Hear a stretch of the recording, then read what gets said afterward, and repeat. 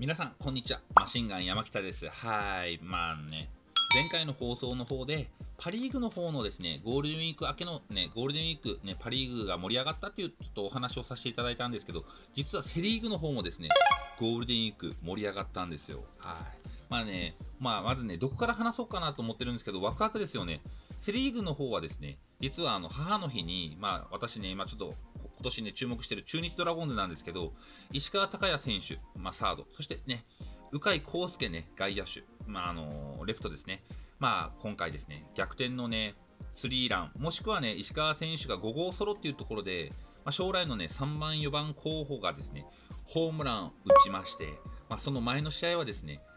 ね、大野投手がですね、あのね、10回、完全試合っていうところでですね、まあ、あの阪神の青柳投手とですね、まあ、すごいピッチングをさせていただきました。まあ、させていただきましたっていうか、まあ、すごいピッチングをしました。まあね、もう、中日はもうなんか、中日野球を見ていくと、なんか PL 学園のね、まあ、ね、野球を見てるのか、もしくは立浪監督がですね、まあ、指導がうまい、もしくはコーチ陣と連携、まあ、星野監督、元ですね、もしくはあの落合監督、まあね、与田監督、いろんなところの良さをですね、引き出しして、まあね、あの、中あの中日を強くしてるのかなっていうふうに見ます。その中で、まあ、ビジエド選手がですね、前に突っ込む、前に突っ込むっていうあの打撃をですね、まあ、いろいろ指導したり、ね、あの今回、京田選手が強制送還という形の、まあ、言い方をマスコミさんつけておりますけど、一度2軍でリフレッシュしてこい、まあ、戦うあの吐き吐きが、ね、ないみたいなことを言われてましたけど、京田選手、ここで終わる選手じゃないと思ってます。2軍でまあちょっと1回リフレッシュをして、もう1回守備をね、見直したり、バッティングを見つめ直す時間を来て、まあ、必ず京田選手が復活することを私は期待しておりますし、まあ、その中でですね、まあ、ネオ選手が、ね、あのショート、ね、ショートで練習してこいって言われて1ヶ月猶予がありまして、まあ、どんどんどんどん打ってます。あ長打も出て、まあ、守備の方もね、カットからですね、返球良かったりとかですね、もしくは一番驚いたのが、甲子園球場で150キロ。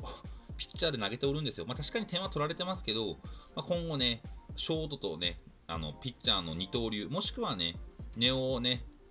明選手のですね、輝かしいなショート、まあ、みんなが待ち望んでるネオ・アキラがですね、出てくるのかなっていうふうに見ております。でですね、まあ、今回ね、巨人の方もですね、大勢投手がね、まあちょっと抑え、今年からやってるんですけど、まあ新人です。まあ一回失敗はしたんですけど、全く気にすることはないし、まあ他のピッチャー陣がですね、まあちょっと崩れてですね、まあ、野手の方も、ね、坂本選手、吉川選手がね、不在の中ですね、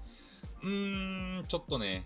あの打線にバランスを崩してですね、まあ、ちょっと調子を落としてるのかな、まあ、このまましばらくですね、調子は崩れていくのかなっていう風な見方をしてるんですけど、ここで歯止めを利かすのがですね、まあ、止めるっていうところではですね、まあ、元ね、日本ハムから来た、まあ、ジャイアンツ、まあ、今、2軍の方でね、な6戦5発かな、まあ、あの雨で幻がなければですね、すごい記録をもな作った、まあ、2軍では無双してます。中田翔選手、復活なくしてですね、あの巨人の上昇はないのかなっていうふうに見ております。で、阪神の方もですね、青柳投手中心にですね、まあ、西投手も出てきたりとかですね、まあ、もともと能力はあったんで、あのまあね、最初の連敗から少しずつあの挽回してるんですけど、まあ、一つ言いたいのが、大山選手の打順が4番なのか、6番バッターなのか、打てないからってもうずっと4番でを続けるのか、もしくは佐藤選手がライトを守ったり、サードを守ったり、ちょっとね、意味不明に1回セカンドを守ってたんですよね。どういう意図なのかわからないんですけど、あのあれだけのスーパースターをですね、うん、まあ一番売ってるんですよね。まあ、ライトで固定するのか、サードで使うのか、まあ、そこら辺をね、しっかりしないと佐藤選手壊れますよっていうところをですね、私はお話ししたいと思ってます。で、広島、めちゃくちゃ調子いいですよね。西川選手、何ですか？っていうところなんですよね。もともと西川選手、いい選手だったんですけど、今年になってめちゃくちゃ売ってますよね。もしくはですね、広島で私が注目してる選手がですね、まあそうですね、西川選手も含めですね、今回外国人で来たですね、マグブルーム選手、もしくはですね、あの、堂林選手、まあ、堂林選手もね、久しぶりにね、ホームランを打ったっていうシーンも見ました。もしくはですね、あの、ピッチャーの方ではですね、まあ、今年やっぱしですね、強いのが、あのね、大瀬良栗2枚いるっていうところが強いんですよね。まあ、笹岡監督もですね、まあね、昨年はそんなに調子は良くなかったんですけど、ここに来て調子を上げてきたのかなっていうのもあります。でですね、まあ、横浜の方がですね、まあね、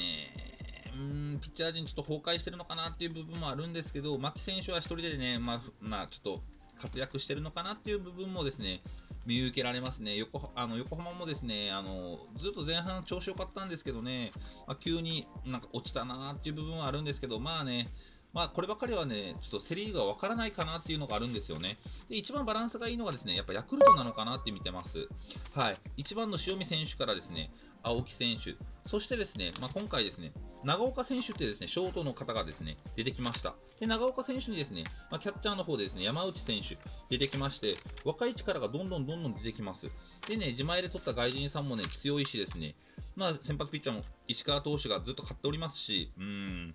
ヤクルト、やっぱこのままバランスよくいくのか、ここに奥川投手がですね、復活したらどこまで行くんだろうというところがですね、今回私のですね、あの、ヤクルトのですね、あの、ね、味方っていうところがあります。で、ジャイアンツがちょっとね、今から落ちる。まあ、阪神は今からね、打順とか固定をしたら上がるのかなっていうふうに見ておりまして、広島が調子いい。そしてですね、広島が調子いい。そして横浜がね、うん、牧選手っていうところがありまして、まあ、ジャイアンツの方もですね、中田選手が上がってくるのかなっていうところあります。やっぱね、一番ね、やっぱ注目なのが、中日のね、ネオ選手が、まあ、今後どういう風なね、あのポジションの位置位置で、立ち位置で復活してくるのかっていうのを見てみたいし、うん、まあ、プロ野球界、ネオ選手が出てきたら喜ぶんじゃないかなって見てます。あと、坂本選手がですね、怪我をしたことによって、まあね、張本をね、さあのカツカツで有名な張本をね、あの3にですね、の記録を超えるのは坂本しかいないと私は見てるんですよね。まあ、現役障害ショートで行くのか、まあ、この機会にファーストコンバートするのか、うん、まあ、あのジャイアンツの一つ、まあ、一つ、坂本選手の今後についてですね、あのー、出てくるのかなと思ってます。ただ、ショートで見たい反面ですね、負担が大きい、怪我をしたっていうところで、うん、ファーストなのかなっていう見てるんですけど、まあ、逆にその内野手がですね、ジャイアンツなんで、今、丸選手、坂本選手、例えば中島選手、中田選手いなくなった後、一気に内野が変わると思うんですよね。まあ、岡本選手はいますけど、果たしてですね、まあ、どういった形でですね、チームが持ち直すかっていうところを見てみたいっていうのがありますね。でですね、まあ、まあ、今後ね、さっき、まあ、中日のね、ネオ選手の話もしたんですけど、まあね、今後、京田選手の復活、まあ、2人とも両方ショート、2人ともですね、ゴールデングラブ賞を取れる、ね、実力のあるですね、坂本、京田ということで、今年はショートっていうところをですね、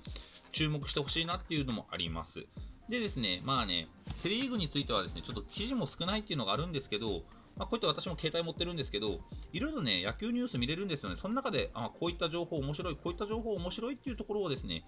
見てもらえばいいなと思ってますし、まあね、セ・リーグ、パ・リーグね、ちょっと今回ね、私はね、これ言いたかったんですけど、飛ばないボールを使ってるんじゃないのもしくはね、ピッチャーのレベルが上がりすぎて、バッターがまだそのスイングに追いついてないのかな、まあ、逆に技術のある、ね、柳田選手、まあ、パ・リーグで言ったら柳田選手、山川選手、まあね、打ってます。はい。吉田正尚選手、技術がある選手ですね。で、セ・リーグに関しては坂本選手、もしくは牧選手、まあね、西川選手、うん村上選手、岡本選手、佐藤ね、輝明選手って、打つ選手いるんですけど、全体的にですね、ピッチャーの方が有利なのかなと思って、ピッチャーのね、やっぱ成長速度っていうところがですね、すごいなと思ってるんですよね。やっぱ中6日、中5日で投げる分ですね、それだけトレーニングとかオフ、体を休める期間が昔に比べて長いんですよね。その分、ピッチャーのトレーニング理論が伸びてるのかなっていう風な見方もしております。で、野手の方は毎日やっぱね、スイングスイングしてる部分、どっかで疲れがあって、まだ技術が追っついてないのかなっていう部分も見ております。そういったところの解説はですね、また今後ね、マシンガンね、アウトゴーイングチャンネルの方でお話ししたいと思いますので、ぜひ皆さん、よろしくお願いします。ただね、まあ、野球の話ばっかりね、してつまらないと言われるかもしれませんけど、これがマシンガン山北なんでですね、今後ともアウトゴーイングチャンネルよろしくお願いします。